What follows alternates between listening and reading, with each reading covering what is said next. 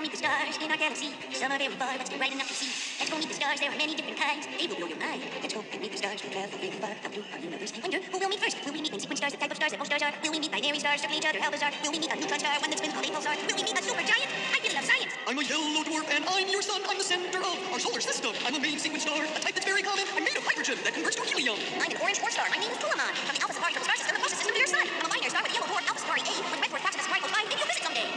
TRAPPIST from the Aquarius constellation. I'm a red dwarf star, cooler and dimmer than your sun. I have at least seven orbiting planets, three that could have life on them, which means you might have neighbors. You would call them aliens. A brown dwarf star. My name is Teide 1 from the Pleiades, clustered in the Taurus constellation. I'm a small ball of gas without enough mass. I fail to ignite, so I'm hard to see at night. Who else is out there?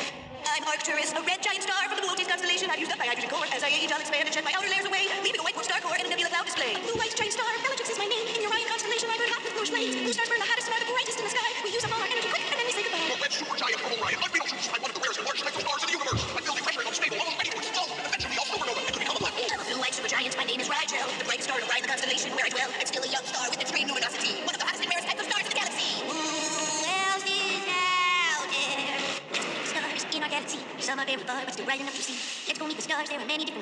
Will blow your mind. Let's go meet the stars. We'll travel very far out through our universe. I wonder who will meet first. Will we meet main sequence stars, the type of stars that most stars are? Will we meet binary stars, circling each other, how bizarre? Will we meet a neutron star, one that's been called a pulsar? Will we meet a supergiant? I really love science. I'm the third pulsar, a young spinning neutron star. I'm left over from a supernova of a giant star's collapsed core. You can find me in Taurus, under a small Jetson unique. I rotate 30 times per second, so it looks to you like a blink. I'm a white dwarf star named Procyon B. I'm in the constellation Canis Minor, and I'm a star that's binary. I used to be a large star that used up all its energy, so I shed my outer layers, and all that's left is dense only. Binary star. My name is Sirius.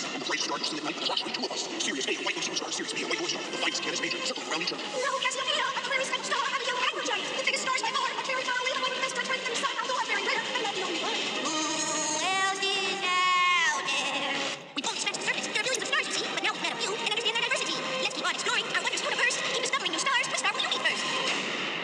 Wait, wait, am I late? You just missed it. Oh, I just got over my starbox and really wanted to be in the song. I think we have room for one more, but could you back up a little so we can get you on camera?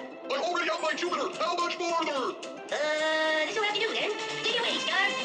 UY Scuti my name, and I'm the largest known star. I'm a red hypergiant, bigger than all the other stars are.